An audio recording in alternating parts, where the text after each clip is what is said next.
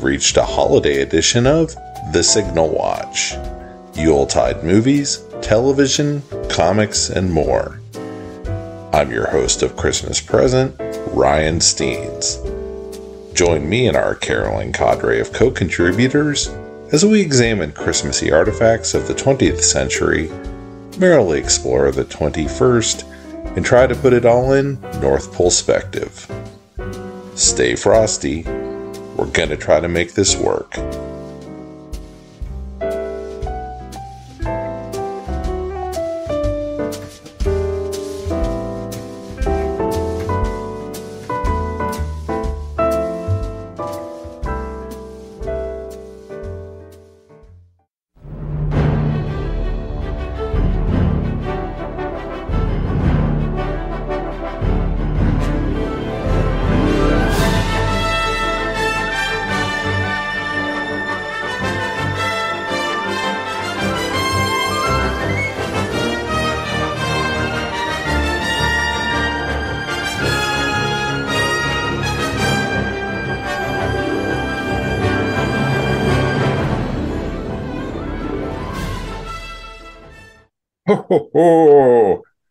Happy holidays, Danny. Happy holidays to you. I'm uh I'm very impressed. Like uh you are you are dressed in a full Santa suit Yeah, for this I don't I- I- podcast. right. I don't like to do these unless I'm really feeling the spirit of the season, and the only way I can do that is under four layers of Santa suit. and there's a little model train going around. It's amazing. yeah, that that took me approximately twelve hundred hours to assemble. I bet, I bet. I bet it did. um, and and and uh, but you you're uh, you're not wearing a Santa suit. I, I noticed. No, I just all I did was drink eggnog. But I've been doing but I've been doing it for a while. So um, that was my that was my seasonal contribution to the program today. Um, I am I am all nogged up.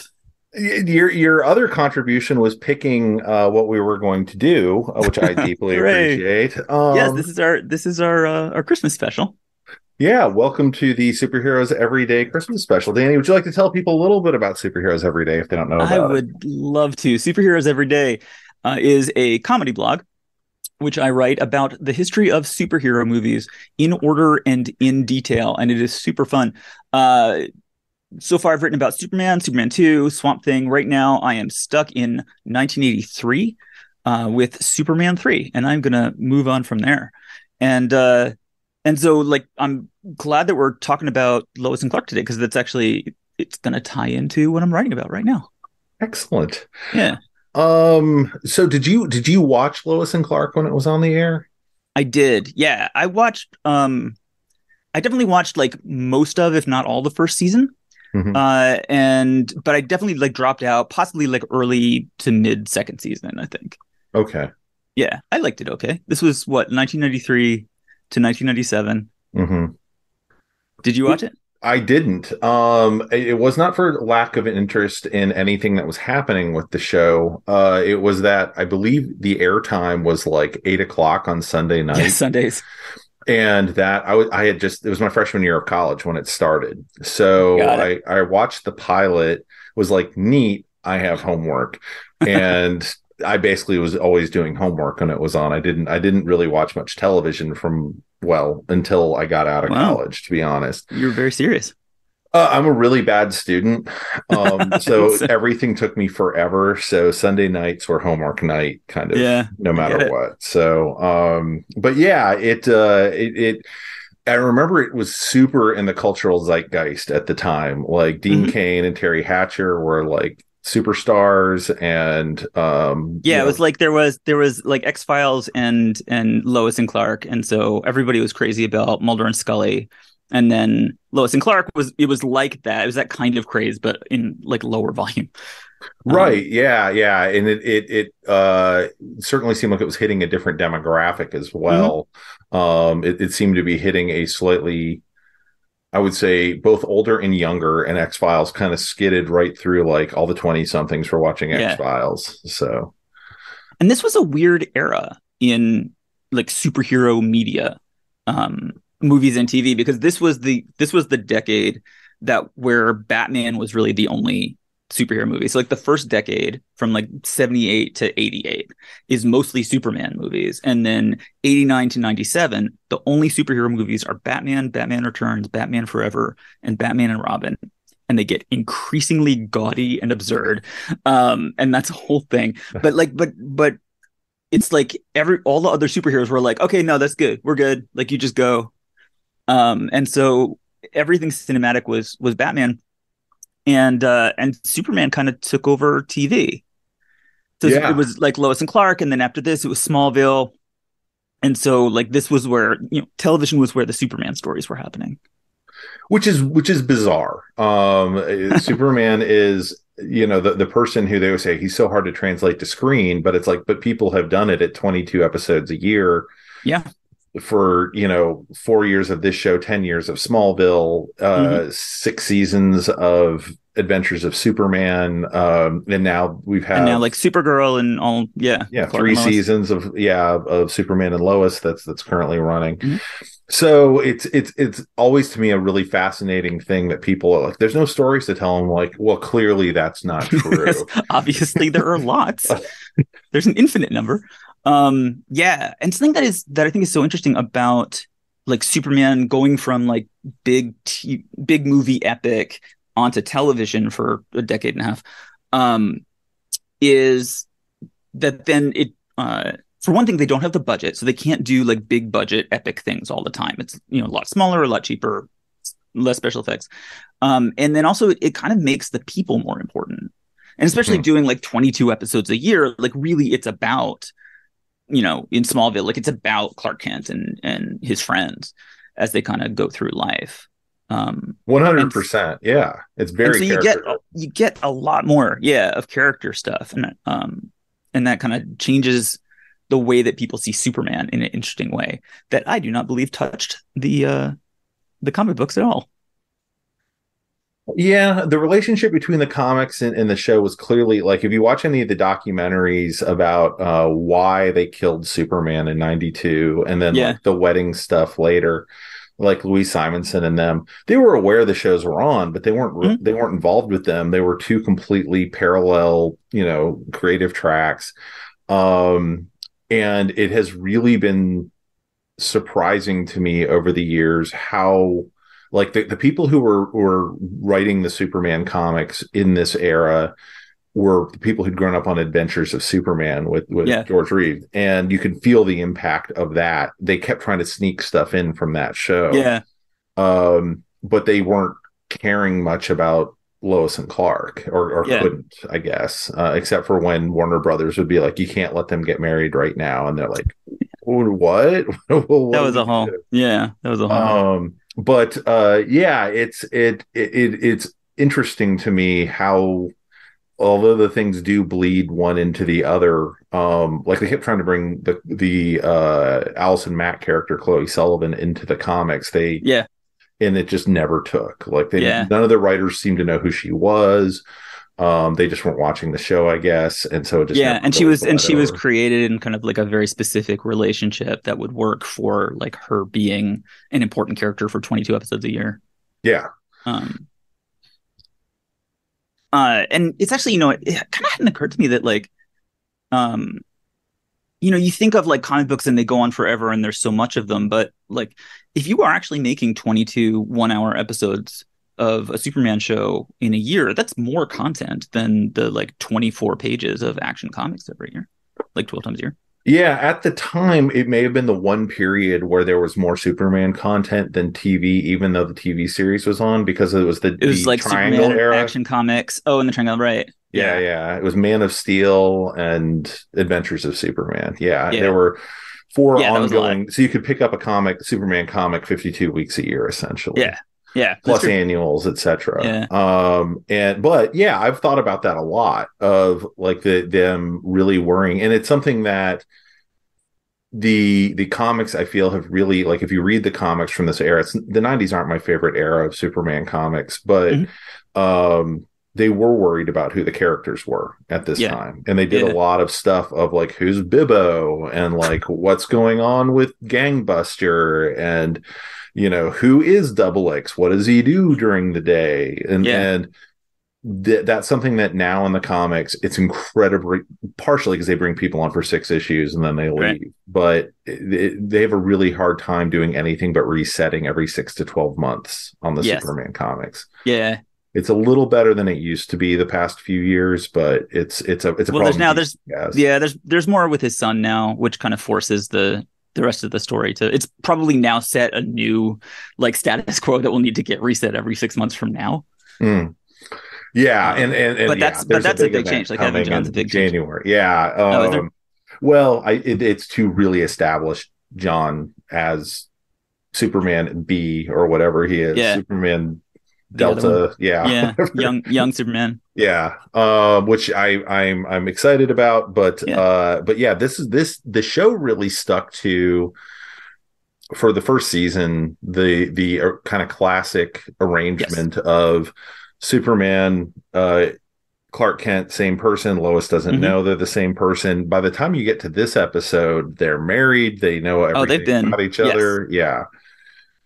Um, so actually, before we before we get into that, just like I just want to talk about kind of like the basic appeal of the show as far as I'm concerned, which is Dean Cain, um, who I personally found very compelling at the Oh, time. yeah. Like in 1993, he had a place in my life. Um, because he's gorgeous. Like I think he is like the the second hottest Superman that we have ever had. There's like Henry Cavill, and then Mhm. Dean Cain, and Christopher Reeve, and then everybody else, as far as I'm concerned. Like I don't know if you rank Superman by hotness or not, but I do very little else in my life. Well, I remember uh, quite a bit of buzz when Tyler Hoechlin got cast. Tyler Hoechlin is good looking dude. If I looked like that, I'd be happy when I wake up every morning. Dean Cain, though, like you know, not now, Sure. but like 30s, you know, early 30s Dean Cain. Um, and there's just and so like this is the fourth season that we're watching, and um, and like even fourth season, like there are like the money shots are looking into his face and he smiles. Yeah. And they like every once in a while they just make sure that they have that because like that's the the key frame that everything else moves around as far as I'm concerned. it's it's a really interesting dynamic on the show because I it was originally designed, as far as I can tell, Mhm. to appeal to women, um, and the relationship between Lois and Clark. Let's do a moonlighting sort of Mhm. thing, but it worked for everybody, um, and but because of that, I don't think that ever really left the DNA of the show. Yeah. Of Teri Hatcher is just gorgeous just by existing. Like Yes. she, Yeah, she is. she can show up after a four day bender and she looks fine. It doesn't matter Uh, what her hair her hair. I, I that, the one thing that bothered me about the show is I really didn't like her first season hairstyle. oh, I. This I is how this is how I was. Yeah, this is how I was watching Lois and Clark. Oh, very very close attention to the um, the superficial things. well, she she was wearing the hairstyle that I think they brought in in Man of Steel, if I remember correctly. Um, so she had kind of the bob that season, right? Yeah, it's just like this pear shaped. Yeah, bob. yeah, yeah, Um, I like, but I I like her in this episode. yeah. Um, yeah, and her and her outfits are great. She's really fun. Um, yeah, so so the show was kind of a romantic comedy for the first season, and then second season, like ABC started meddling with things, um, for better or worse. And second season, they tried. This is, I understand this from reading about it. Uh, they tried to go in a more like action adventure direction, and and like less of the um, romantic comedy because they wanted men to watch. Um, and apparently didn't work, and so they kind of pivoted back mid mid second season. Um, That's interesting. Okay. I knew that they'd done that pivot, but I was Yeah. watching this one going, this feels really the same spirit of the first season. yeah, Even though I'd Yeah. heard that. Okay. Yeah, they got back to it. So season three then was like it starts with her accepting his proposal because she found out that he is Superman. And so that was like the big season three premiere. Like now everything's out in the open. And it went towards them getting married like late later in like halfway through the season. Um and then there was some kind of manipulation where I think like either ABC didn't want it then or Warner Brothers like or, or DC Comics didn't want it then. Um and so instead of it all builds up to like the middle um where she gets married and then he does get married but it turns out that she is I believe a frog. I think she's a or a clone. I like I say, I have not watched these episodes, but Yeah. this is what I understand. I think she's a clone that's made out of frog parts. Um, and so things started kind of going badly from there. Um, so what we're watching, the Christmas episode, hooray, is called what the hell is it called? Uh, the Merry, night, yeah. was the night before Mxymas. Uh, so this is like fourth season. So they actually got married like early in the fourth season, and now this is like halfway through the fourth season. So now they're married and walking around. Yes. Everything else about the premise is is basically what you'd expect. There's like Perry and Jimmy, and you got his parents and you got her parents, um, and everyone is adorable and happy. Well, sort of. Uh, and then we're gonna get into that today. Yeah, well, I mean, even talking about um, the the what you would expect, uh, I I think until I don't know at some point, but if you read the comics now, the the writers basically do not understand how the Daily Planet's supposed to work. Yeah, um and it's it's an ongoing problem for me as a superman reader of they'll have superman in the daily planet for like five pages of the first issue of a new run and then he never Yeah. returns to it for like 15 issues he's out in space a lot these days. He's out in space a ton these days um Yeah. and I, I used to blame it on dan didio uh kept trying to make superman not be a thing Mhm. um there was one point with the Why did he wait? Why did he want that? um i think What a silly what a silly thing for him to want. Well, I, I think there was a point of legitimate fear during Dan Didio being editor and then publisher where they weren't sure the Siegels weren't going to claim ownership of Superman. Okay. And there's a whole Return to Krypton storyline that if you kind of read between the lines of what are they doing here, Yeah. it seems like what they're trying to do is make it so they don't have to kill Superman, but they're definitely testing like they don't want to do Death of Superman again Right. but they take him basically he goes and sits on another planet Huh. not on frame for like half a year Wow. well they okay. basically tried out new supermans uh like they brought in Mon-El um Yeah. they brought in like uh flamebird and nightwing and like all these other characters Hmm. and maybe we'll make power girl the new superman you know who knows and none of it really took and then the Siegels kind of tamped it down um and by the time yeah but it's if, if you if you look at what they were doing like the new 52 to me the entire explanation for it is we need a superman who does not fit the ip claims of the siegel lawsuit Oh gosh. he's he's now in Yeah, armor so he's he's, no longer in right, tights yeah. yeah. he's he's not a reporter he's now like a web Yeah. blogger something like there was all this stuff that it was like if you went item by item of what's in action comics number one they could have claimed uh, as their own um and lois and he aren't ever together during the new 52 Yeah. so it's it, it was a fascinating uh That was experiment and that turned out to be a mistake. And I think- and I think, many, like, the big- levels. And as far as I know, like the big thing, you know, when what it turned into convergence, Mhm. um and like I, I believe like the big driver of that is like superman and lois clark and lois from the old universe kind of coming into this new universe i've wondered about that for a long time like if i it- if i understand anything Well, they they introduced that they had survived whatever happened with Flashpoint, and they were in pocket Gotham, and Superman had no power, so they'd had a son. you know what And but they didn't do the con- the like oh, and, and they must have sold like hotcakes because it was like all the old crew writing and drawing it, and then that's who they brought back to do the initial like oh no, the Superman you've always loved is in the New Fifty Two universe, just hanging out secret. yeah So you know you know what we're um we're going way off where we Oh yeah, yeah, right yeah. Yeah, you're right. You're right. i am actually super interested in this and i'm Yeah. loving it but actually we are Yeah. not talking about lois and clark at all right. um but uh if i could take a different detour Yeah. uh, if that is okay with you yes. um kind of the way that this that this is tying into me writing about superman 3 uh i had this question and um i'd like to know your take on this um which is like the big question i think when you're writing superman is is he clark dress who dresses up as superman or is he superman who disguises himself as clark like which is the real character I think there's a hard cut on that, and I think there are two separate answers. And I Yeah. think pre Crisis on Infinite Earths, it's clearly Superman disguises himself as Clark Kent. Yeah.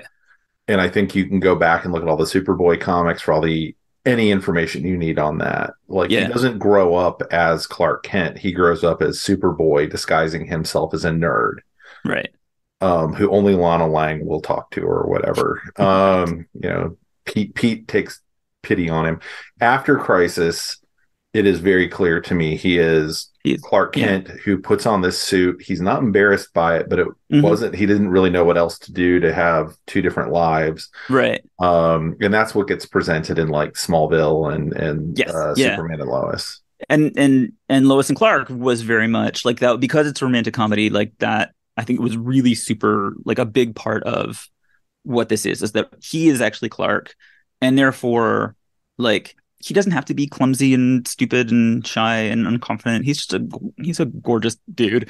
Um because but like but he's the real guy. Um and then like I said like Superman is is the suit that he puts on. Um which I think makes way more sense psychologically. Like because I think like he was like Superboy comics aside, and they in, including like when he's super baby, all that aside, like if you actually look at at what any normal reading of the story is, is that he would grow up as Clark, um, and that would be kind of his psychology and the idea that like he discovers that he has superpowers and then sheds his old human identity is kind of creepy to me. Yeah, I mean, I think I think that's how you end up getting into a lot of the like, what if Superman were bad? You know, kind of Yeah. uh like Yeah, it's a I don't know horror if you story read, point. yeah. If I don't know if you read Irredeemable or not. Uh, if if if folks out there haven't, it's I think might get adapted. It's by Mark Waid. It's um one of many versions of that story, but it certainly tells you what happens when he sheds the human identity and not Yeah. for the not for the better, right? Yeah, that he kind of like comes into his own as a different, like evol- more evolved, like powerful creature. Yeah, It's a it's a horror story, it, And I- absolutely. and and and I like the the definition of like Clark as as as they do it here, um, because it means that he's like a well-adjusted adult person, and I just Mhm. think there's like there's something fundamentally sad, um, you know, which is partly like in, including in you know the first two Superman movies of that like. I, I think they're playing it as he's Superman and he spends the majority of his life trapped in a disguise that he doesn't believe in and possibly doesn't even like.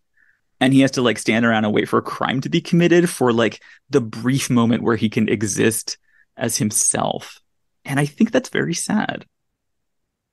Yeah, I mean, the Silver Age certainly plays it as here is this god being living among you, yanking your chain constantly, right? I mean, that's Yeah. that's essentially the sitcom. The the the Silver Age is like all sitcom Superman Right. because they can't do violence at this point, and Right. so it's And they and they can't do and they can't do actual human emotion. right. They do like melodrama emotion. Yeah, yeah, and and you know, occasionally, like at, depending on what was going on with editor Mort Weisinger, um, they would they would get into some stuff, but um, there's there's famously people believe whatever he was talking about in therapy ended up in the comics, um, and but yeah, it's a. I, I I think it's a really it's not a horrible take, but you know the idea of Superman being a newsman was he doesn't have a desk where people are looking for him nine to five. Yes. Yeah. Um, which you don't really get time for in the in the Christopher Reeve movies. Right. Um, you have your setup, and then he's usually He's got a lot of stuff to do. yeah, yeah, Yeah. Um, but yeah, I don't think it, it. You know, in the old TV show, Clark is not clumsy. Clark and Yeah. Superman are the same dude wearing different clothes. Right. Yeah. Um, it's just the fact that people don't know they're the same person, and so Yeah. it it plays kind of a. And I think that's some of the tone they tried to take with Clark in the '90s of. Hmm. He's he's a dude and he's friends with all the people at the planet and Right. that's what and, and Superman occasionally shows up and it's kind of a deal when he does but it's like the district manager showing up everyone gets a little excited and then he goes Yeah. away again um so yeah it's a it's it's I, I very much more like the take. I, although I love, I grew up on Christopher Reeves. You know, kind of like Yeah. I'm going to do the the Clark Kent bumbling to the nines.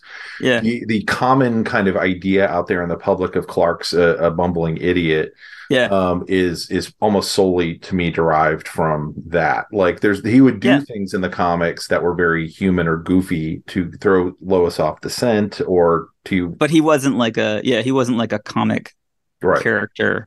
Yeah. Yeah. Yeah. No, you're right.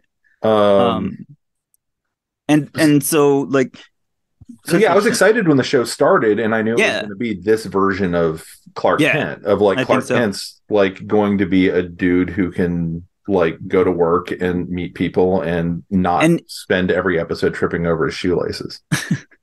and and he cares about this life that he has like this is Mhm. not like the sad disguise that he wears just to look look meek um this is this is the identity these are the friends this this is like the place where he wants to be and it's just every once in a while he has to go and be superman Yeah, I Um, think it's it's much better when Clark genuinely wants to be a journalist. Like whatever is within him Yeah. that makes him Yeah, want to exactly. tell the truth. Uh, yes yeah if he wasn't superman that would be what he did and he would and that would be a, a perfectly fine life for him also he has insane superpowers Right. which gives him which gives him like more responsibility and weirdness Yeah. Um, and so let's get into this episode. So this is the Christmas episode. Um, for Lois and Clark's last Christmas. Uh, they are married. They're doing Christmas shopping, and Lois starts out just super stressed out about their Christmas plans. Um, Yeah.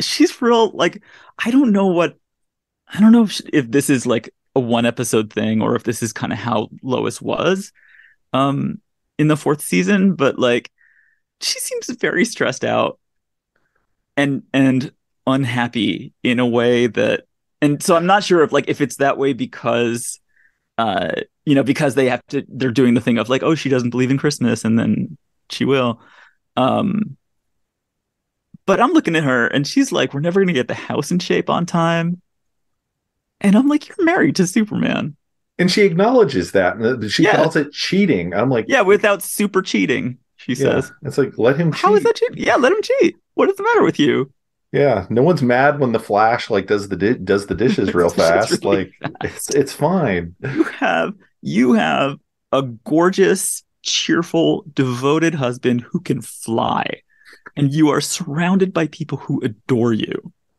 and you're unhappy because you have to make more stuffing I I I believe it is written specifically for this episode, and Yeah. one of my thoughts on that was, you know, when the show started, they definitely did the like, she's the hard bitten, you know, Yeah. big city news gal, and by this point, she's more of, I'm going to be the counterpoint to whatever Clark is feeling, so we can have a discussion about Oh, the okay, theme right. of the episode. yeah Um, and it's just a little disappointing. Like I can see her like being like, "Ah, the city's such a hustle and bustle during the holidays with all the tourists," you know, Yeah. those sorts of complaints. But like, our loving family is coming to see us. It's not a good look, Lois. But at the same time, having hosted many holidays, you do have a little like, oh absolutely no i know yeah. that But I'm also like- not. I don't have super speed. yeah Uh, so and you're not married to you're not married to 32 year old dean cain no, I'm not. i just seriously i just seriously like how can you even like so you, well, your bar here is really that if you're married to Dean Cain, all is good. i don't see what you have to complain about your, your complaining days are over. Seriously, you're married. You're married to 30 year old Dean Cain with his hair all done up real nice. Mhm. Uh, and he follows you around like a lovesick puppy yeah, and is just completely crazy about you. yeah. Um, do you need to learn the concept of wonder? Like your life is is wonderful, I would say. I don't know. Now I don't know. I'm not. By the way, I'm not saying I don't know what Dean Cain was actually like in his life. I'm just saying like the one that is being presented to me, which I accept. I so I I met Dean Cain at one of the very few cons I've been to. He was a delight when I met him. Uh, we we had some jokes uh, back and forth uh, about some Vine stars that were there. Yeah. and um, then was very disappointed uh, in his recent heel turn. But um, Is he? I forget what it is, but he's he's disappointing politically now. Is that the idea? Yeah, I hate to say it, but yeah, I mean he, he's he's beyond like you know Yeah. your your uh your your standard issue conservative, which you know I'm, I'm in Texas. I have no problem with that. Uh, for the I just I'm not. It's so Uh, funny. Like I I'm vaguely aware that that is true, but I'm not looking into it yeah. Don't you'll just be sad. because because like 1993 Dean Cain is still very important to me, and I'm not I'm not going to let whatever he has turned into ruin that for me. Yeah, yeah. No, I, I, I, uh, yes, I have my own '90s figures who have who have done the the same heel turn, and I'm just like, yeah. Just, um, oh, is it Hercules? I have paid attention No, to, to sad Kevin Sorbo. it was it was uh, Kristy Swanson who was the original Buffy has, has Oh, yeah. oh, yeah. Okay. Yeah. Um, well, Sorbo, I never cared about one way or I, the other. okay, I don't know. That was the one that occurred to me. Is the other '90s one? Yeah, Uh, no, no. Uh, but but yeah, I, I I I think that they try and do the like city thing of like she's like, well, I see, consu- you know, she's being the the yeah, she's reporter, I right? see She's- consumerism. Yeah, and and I kind of I kind of get that, but I'm and and you also know exactly where this episode is going to end the Yeah. minute she starts saying all those things. Of, Right. Oh well, she'll be won over by the events of this episode in the next Yep. 45 minutes. yeah. This is the Superman who saves Christmas. Yeah, and that's fine. I mean, that's Yeah. what this is, and that's very Yeah. much the place the show existed in. Yeah, absolutely. And so like he goes like there's a fire and he goes and saves the orphans and she's like, "Oh, fine. Go ahead and save some orphans. I'll just continue with my grim shopping trip." Yeah. Uh, Which I mean, she she isn't able to put things in the trunk of a car. To some extent, I, do. kind of get like it's a lot of bags. she is actually Lois. oh that's true. She is oh, I didn't even realize that. She is stuck with the bags. yeah, she's got to walk all over Metropolis. uh, Yeah. which we know is crime ridden. So, Yeah, we do. Yeah, we do. um, yeah. Anyway, but but yeah, that that is, Superman does take off to help the orphans, which is a plot point. Yes, it is. So, Uh, and then Mr. Mixic, yeah, Mxyzptlk. mhm. Is that how I'm going to say it? that's how I say it, Mister Mxyzptlk. Mr. Mxyzptlk, exactly. Um, appears, and the eternal question. So this is the, I believe this is the, like the first time that he's appeared in in Lois and Clark. I think he Mhm. makes he makes an appearance in every uh Superman show, like from here on. Mhm. uh he is magic. He's an imp from the fifth dimension. And there is the eternal question of how annoying an annoying character should actually be.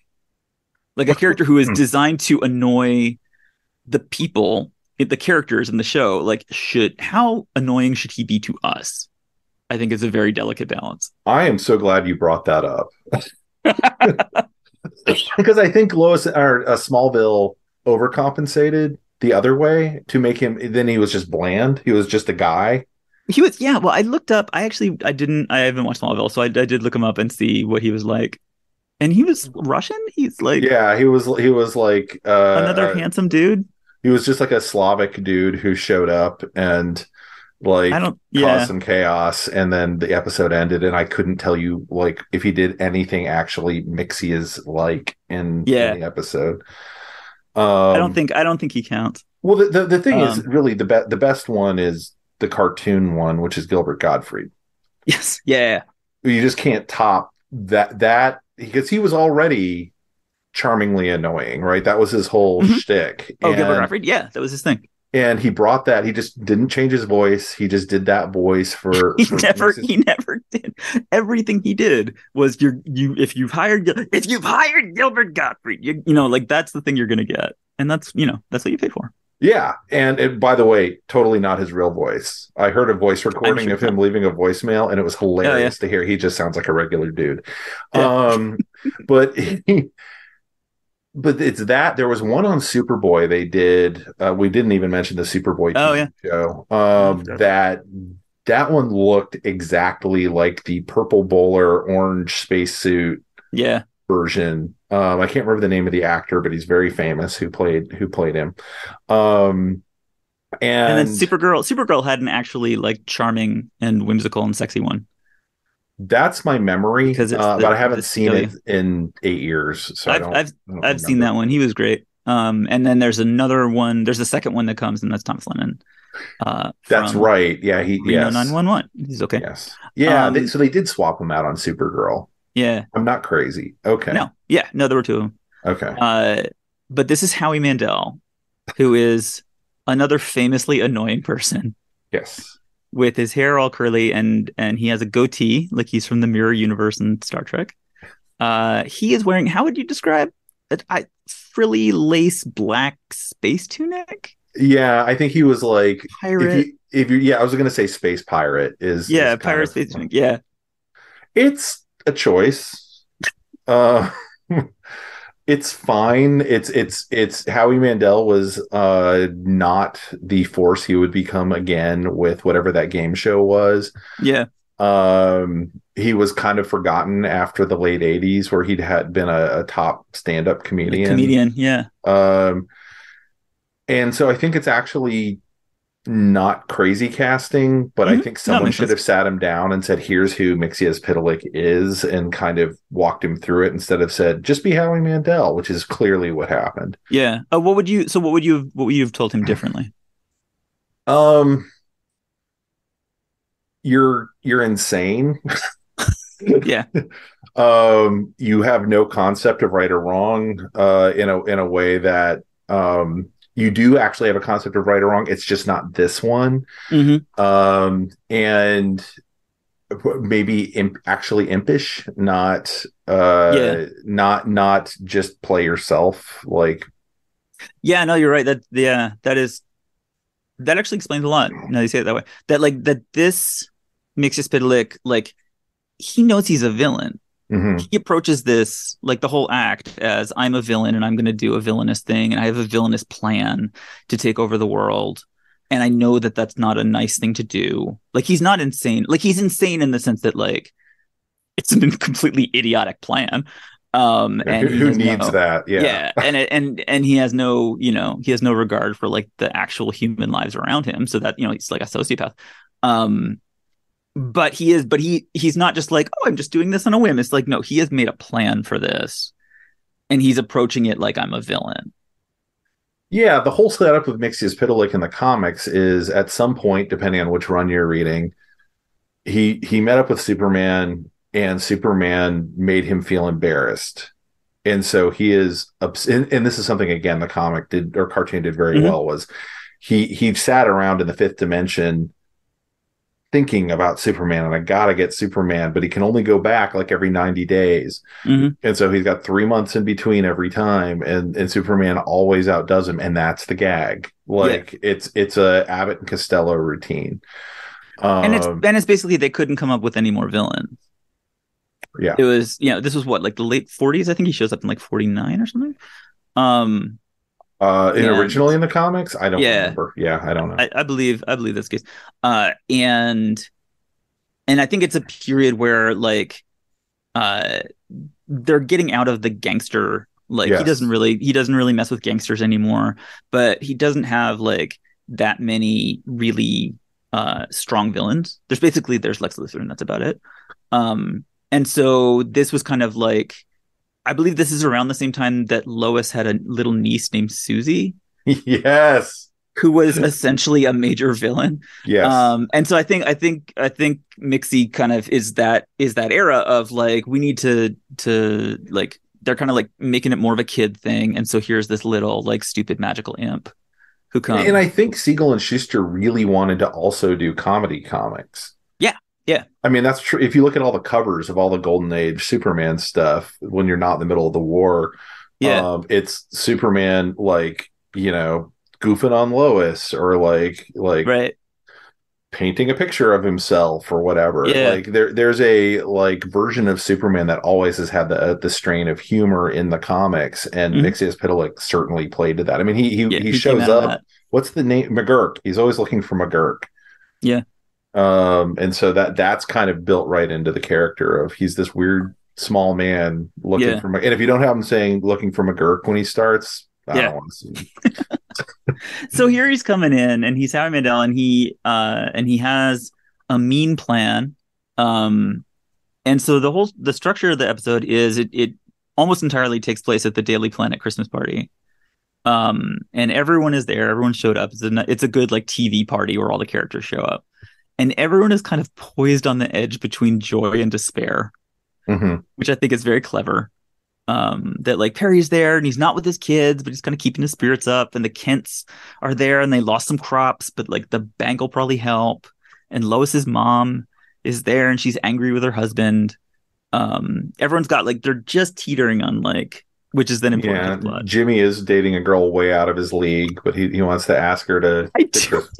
I feel bad for Brenda, Brenda the Rhodes Scholar, for dating a cute, like a, a doofus with cheekbones, like like Jimmy Olsen. I Yeah. find Rhodes Scholar is just very funny to me as like a thing for them to pull out for like Jimmy to like. He's like, yeah, I'm dating this woman. He's getting he's getting like woman advice from uh from Lois's mom. Or no from Clark's mom. Well, yeah, he's like, she sure knows a lot about women, and I'm like, who wrote that line? Who let that line end up on the show? she knows. She knows a lot about women. Who knows what she told him I, I, that's and then and then later on like that she turns into a prostitute with no middle ground at all. She just goes from like Rhodes scholar prostitute. Like those are the options for women in 1997 like you are one or the other that's what you get that it, it hurts so much. That's how true that is. yeah Like that So- was TV in that era. Yeah. So you got everybody like in the Christmas party, and then and then Superman goes out and he catches a bank robber and he saves a billionaire who falls from a skyscraper. Um, who's like, "Oh, I want to give you a reward," and he says, "All I, no, I don't want a reward. All I want is your gratitude." And I was like, "And maybe like healthcare for all the people who are around you right now." like, I bet I. c- There's some people somewhere in the world that, that would enjoy the money that you were going to give to me.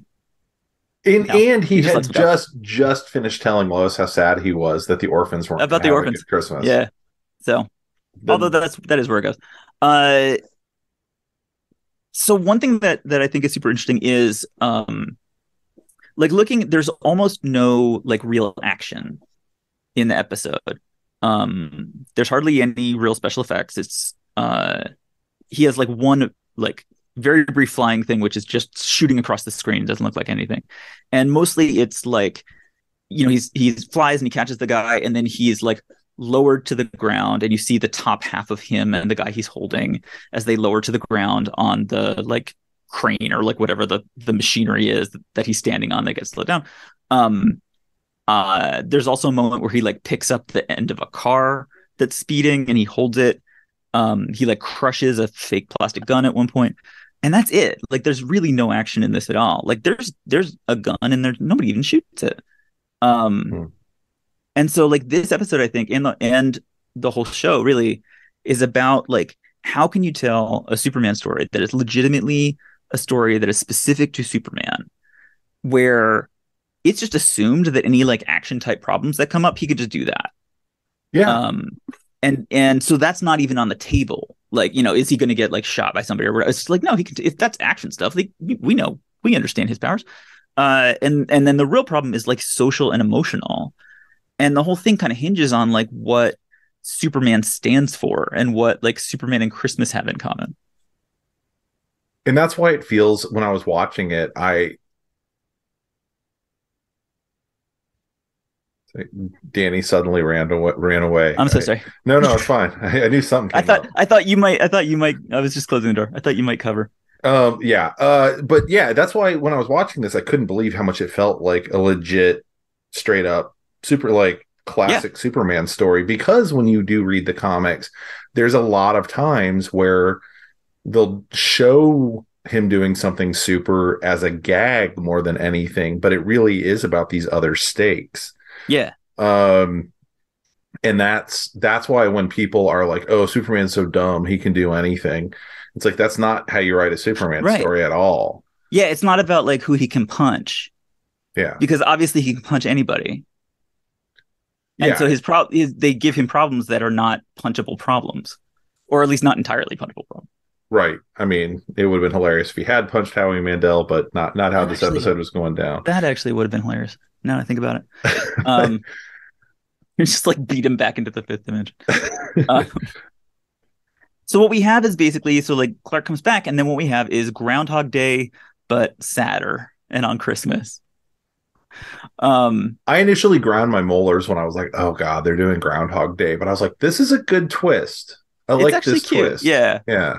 Um, and so like what happens is uh Mxyzptlk uh turns back the clock. It goes to like uh you get to four o'clock and then it turns back to twelve o'clock.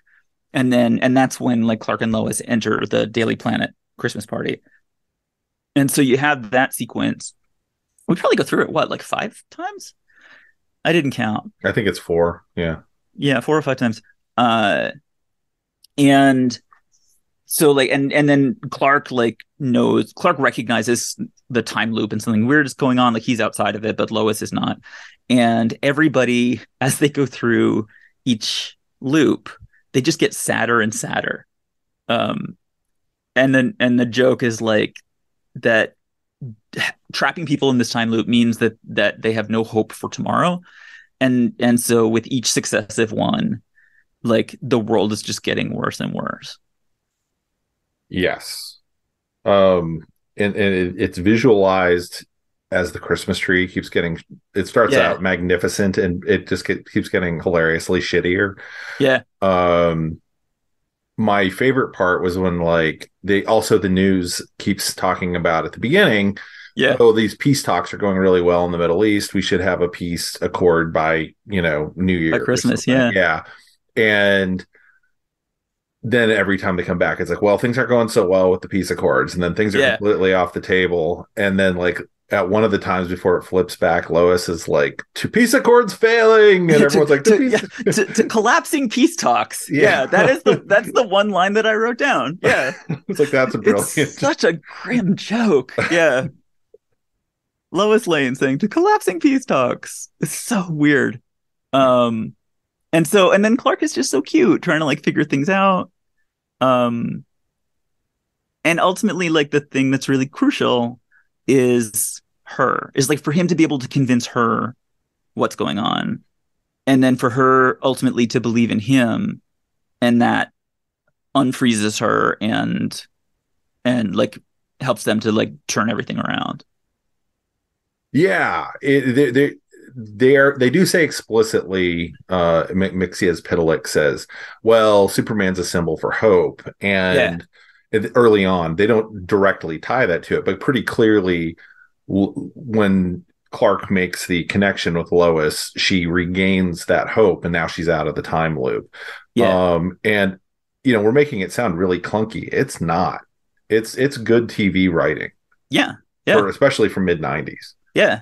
Yeah, I was it, it actually this is it makes it makes my job here more difficult cuz I kind of I liked this. I couldn't I, it's hard for me to like make too much fun of it because it I think it's actually it's a good episode. I completely agree. I Yeah. I am not a person who I've tried to go back and watch Lois and Clark a number of times. I always start over. I make it through about the same six episodes, and then I kind of fall off off Yeah. trying to trying to watch it straight through. I know at one point I watched. There's a whole run of like Justine Bateman's in space, and maybe she's Kryptonian, and Yeah. there's a lot of Oh, stuff yeah, yeah. going on. Um, but I I didn't if I'd known the show was doing this kind of stuff, I might have because I think it eventually moved to Wednesdays or something. I probably would have been more interested in tuning in. Yeah. Um I I I really liked it. It's it, it Yeah. hit a lot of the beats that I'll like in standalone issues of Superman or one-offs. Um and it felt like that sort of contained uh holiday issue you might get. yeah. Yeah. Um I mean, I- you know, the ending the ending is is ridiculous Christmasness of like all the problems are magically solved by bringing in orphans. And then like the world is saved by Lois specifically singing Christmas carols. Like it it's like the the fate of the universe hangs on a thread and it's whether Lois Lane goes from deck the halls with boughs of holly to fa la la la la la la. If she does not sing, this is really the feeling. It's like if she does you're not 100% sing, correct. fa la la la la la la la, the world is destroyed. And and fantastic. And so like the big moment is she actually goes through with it, and then that gets that gets Ma Kent going, and and then once Ma Kent is going, she just keeps on going, and the world is saved. and the world is saved. And there's this really good scene of Mxyzptlk going from person to person to about their weaknesses Yeah. of like, aren't you sad that your sons aren't here? And you know, Perry's like, you know, go They jump in laugh. a lake or Yeah, whatever. Yeah. Um, and it's it the the ending solution is joy um Yeah. it, it- in the face of of darkness um so it's corny but it's it it is legitimately cute you know it goes it goes a little too long i would say howie mandel is a little too annoying mhm. uh you know there's some things. I i think jimmy is not great. Uh but like but the core of the show the core of the show is like dean cain and teri hatcher being adorable um doing interesting things.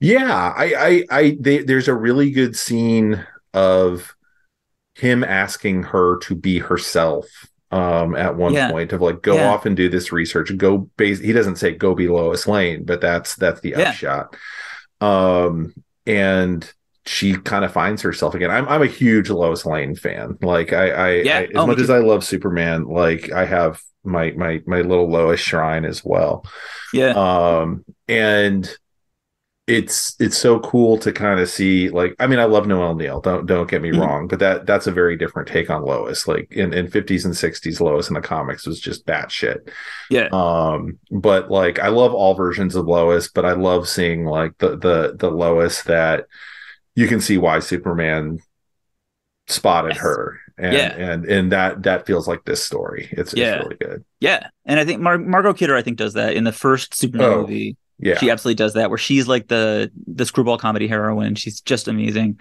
and yeah, I think like I think Lois Lane done right. Lois Lane is one of the greatest characters in fiction.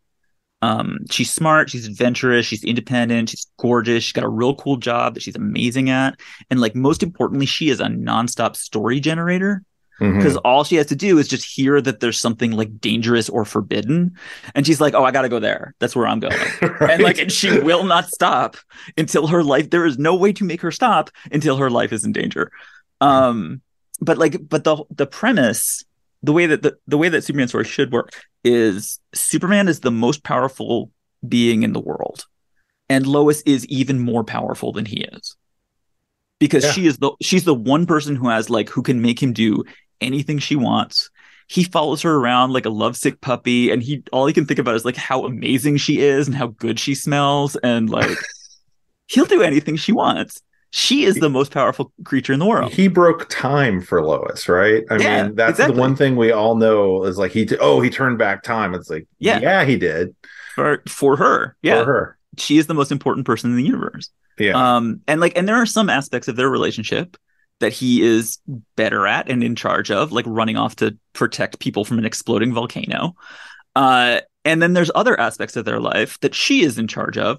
which is basically everything except for exploding volcanoes um and so yeah i think like when the show when this show is good it's because they really understand that that like lois is actually the most important person and the fact that superman is so amazing and is so in love with her they is did. like is the key um, to everything. They they did two maxi series a few years ago, like two three years ago. That if, if you haven't read them, I highly recommend go out and check them out. Um, Yeah. it was during the Brian Michael Bendis run. One was the Lois Lane twelve issue run. Mm. It basically posits if you're doing a team up of the best detectives in the DC universe, Lois Lane's in the middle of that.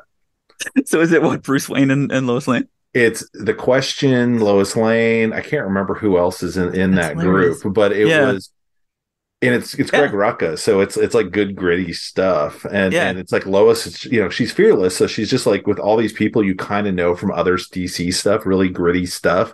Lois Yeah. just rolls up her sleeves and she's right in there with them. Yeah, Um the, yeah. If the- if you if you write a shitty Lois story, that is on you. That is Yeah. one hundred. Like the character is there for you to pick up and use. yeah. And if you use her badly, that is the writer's fault. That is not the character's fault. and there's uh, there's uh, in parallel a Jimmy Olsen series that is the most insane best thing DC's put out in forever. It's 12 issues. I totally agree. Yeah, I got the funniest funniest Yeah. thing I've read in comics in, in like 20 years. yes, totally agree. Yeah, And I Lois gave- is great gave- in that too. I actually I actually gave that that trade paperback to everybody for Christmas last year. That was like Did you really? for last year? Yeah, it was Yeah. was because I knew like none of the people that I know have read it, and it's so good. Yeah. Um, It's, uh, yeah, uh, and so Jimmy Jimmy should be important as well. yeah, it- I uh, mean, and that's one I of mean, my Perry- if I have a beef sucks. if I have a beef with the with the TV show about the characterizations, it's certainly that Jimmy's job is to kind of suck.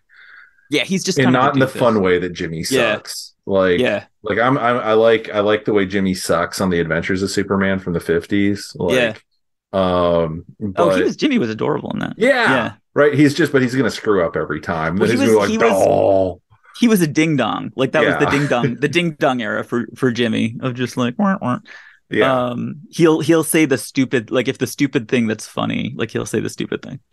Yeah, Um, and I, I and I, I love that that Jack Larson But he is uh, good. Yeah. Um, and and I I I I'm a big Jimmy Olsen fan as well. But um, Yeah.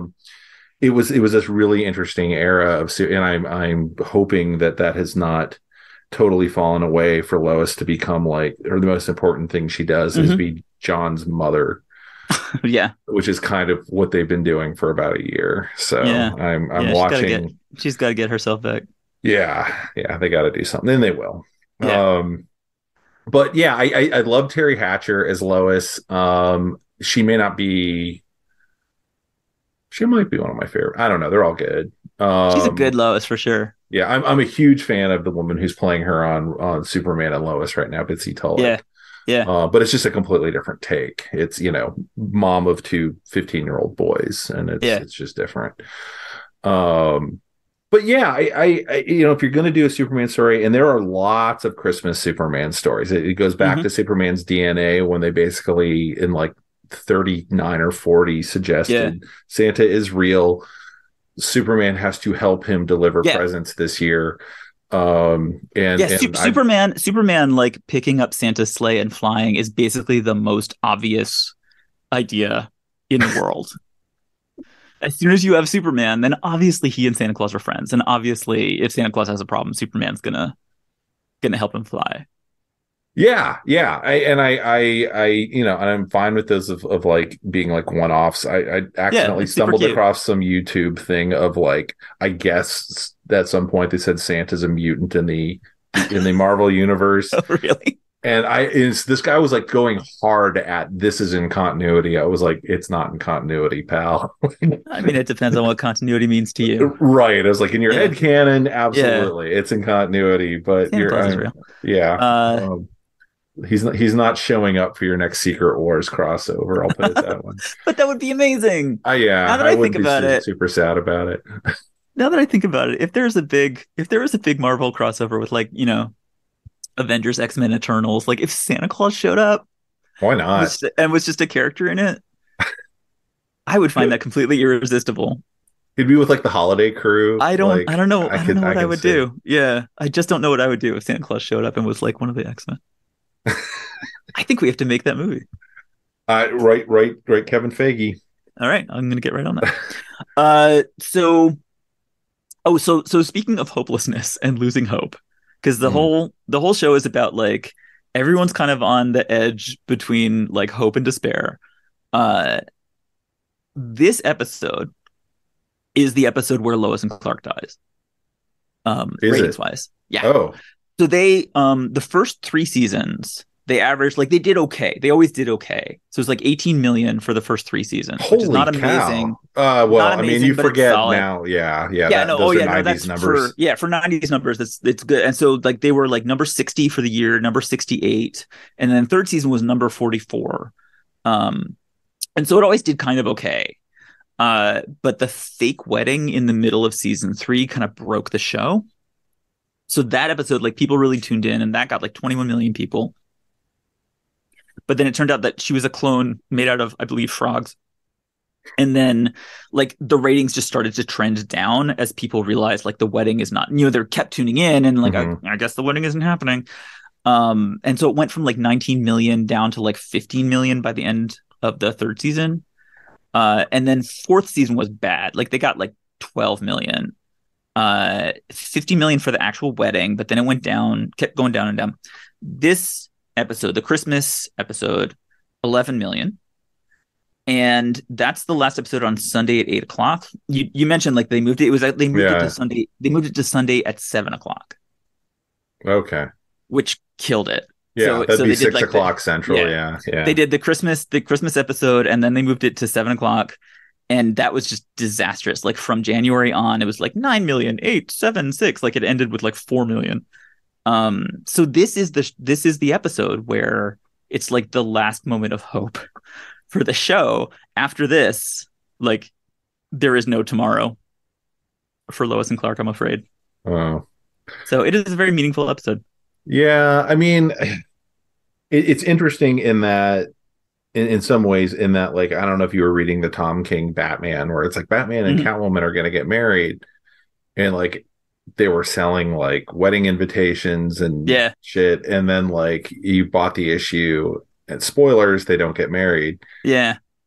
and I never picked up another Tom King Bat Cat comic again. I was- Really? yeah, I was I was just like oh, okay, like you were going someplace and then you Yeah. were like psych and Yeah. it's uh, and I can totally see how you lost 4 million viewers, right? After after that happened and then you Mhm. lost 10 million viewers and it's Yeah.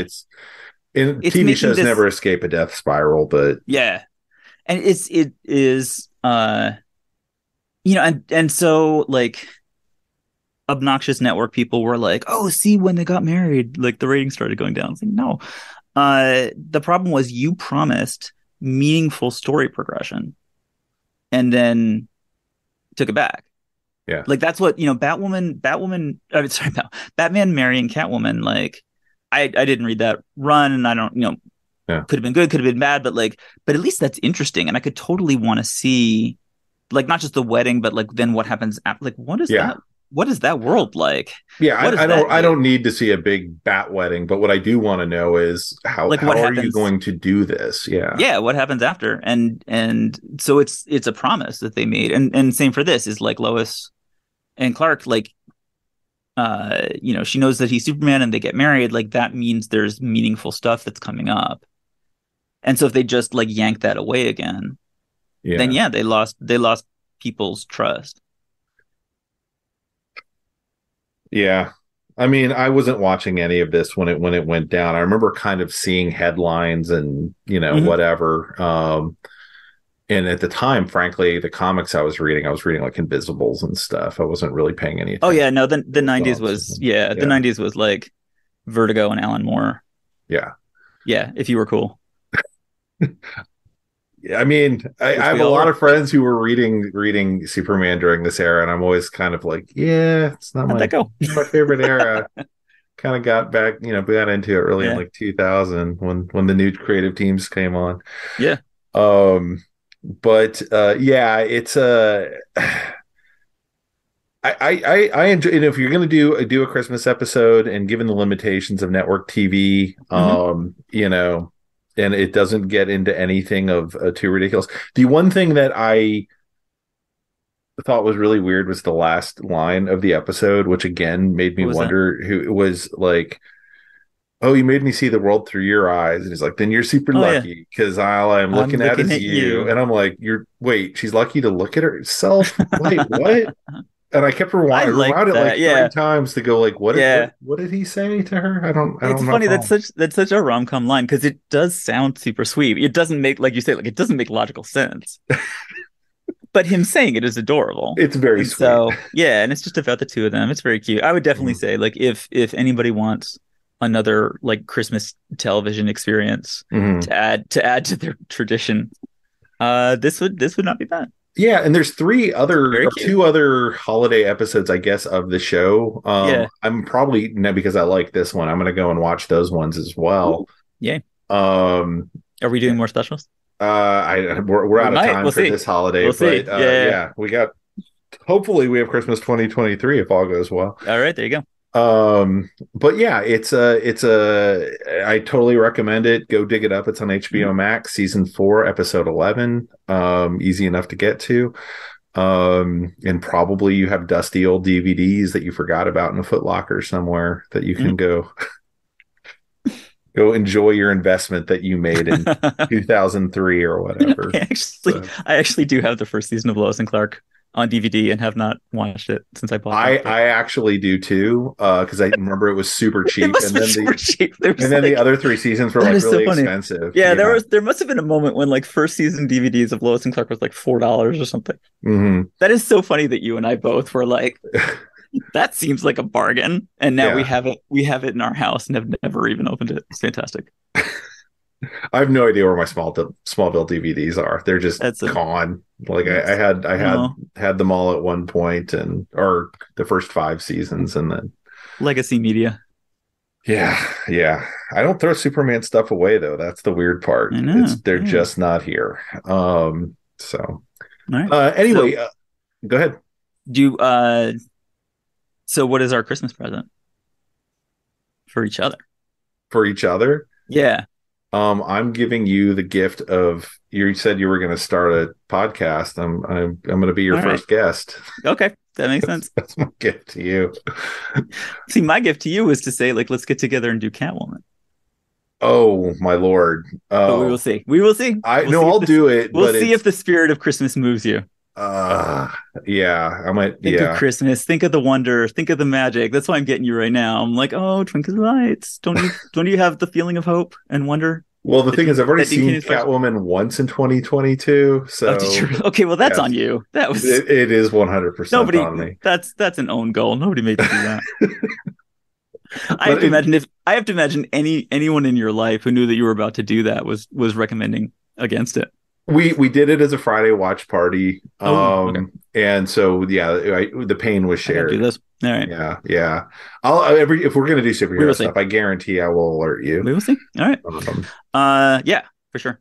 Right. Uh, cool. Well, uh, now you can. I guess now you can take the Santa suit off. they already, yeah, Probably- this, probably this hot under beard's- Yeah, getting in my mouth. Yeah. All right. Well, ho ho ho. Merry Christmas to you, Ryan. Merry Christmas.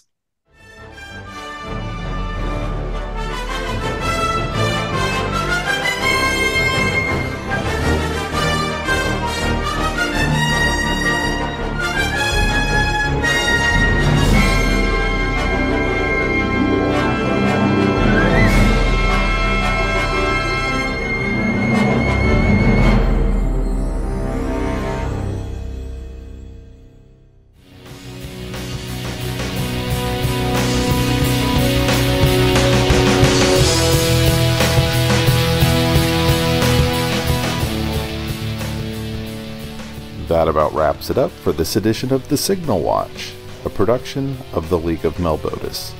Thanks for sticking with us. If you enjoyed the podcast, we invite you to drop on by the Signal Watch blog, where you'll find write ups of a wide variety of movies and more. We'd love to hear from you, so find us online and let us know what you think. Whether you prefer email, blog comments, or social media, we'll be happy to hear from you. We'll be back soon with more exceedingly high quality content. So, until next time, God damn it, babies, you've got to be kind.